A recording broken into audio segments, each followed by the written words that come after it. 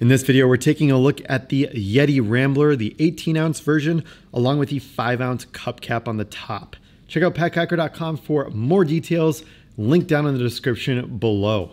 I've been personally testing this for the past month, and I've been using it for my tea on a daily basis, and then using it for water in the afternoon. And one of the things I really like about this combination here is that my teapot is 18 ounces, so it'll basically fill this thing up fully. I brew loose leaf tea, pour it out of the teapot into this. It's the perfect fit.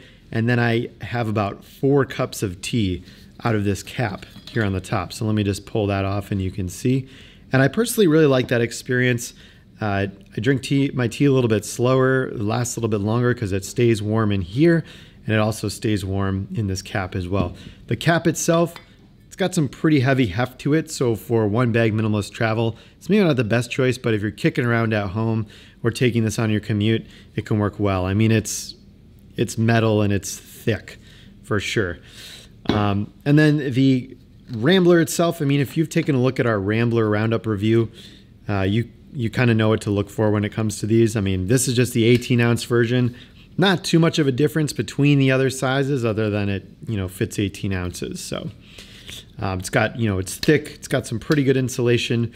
Uh, you know, beverages do stay hot, and um, you know, it does its job. At least uh, for my use. I'm usually done with my tea by about noon, and I brew it around 7 a.m. So it lasts pretty well, or 8 a.m., 7 a.m. It lasts pretty well for that time, and it's it's hot enough. Obviously, it's a little cooler when I get to that fourth cup of tea here, um, but does its job well enough for me at least. Now, one of the things that is a little awkward with it is that it's pretty tall. So this cup cap adds quite a bit of height to it overall. Doesn't really bother me that much, but if it is sitting on a desk, you know, it's kind of easier to knock over because it is longer and taller versus like if you have like a small chubby thermos that's 18 ounces, that's gonna just hold its um, you know, ground a little better on your desk. Whereas if you knock this, I mean, AJ's got a really tall hydro flask. AJ, our managing editor on the team, and I think it's knocked over quite a bit because it's so tall and skinny. Um, so this has that same problem, just note that. And then as far as the mechanism itself goes, at first I thought it would be hard to clean in here.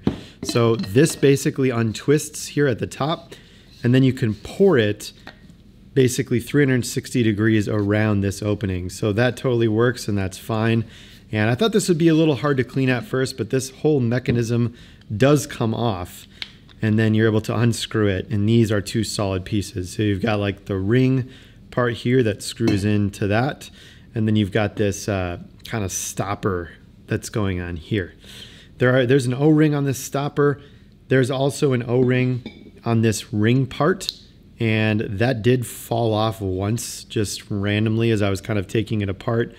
Um, however, I have taken it off too before to clean it. So, um, you know, if you clean that O-ring and this O-ring, the rest is pretty much just solid uh, material. So it is quite easy to clean.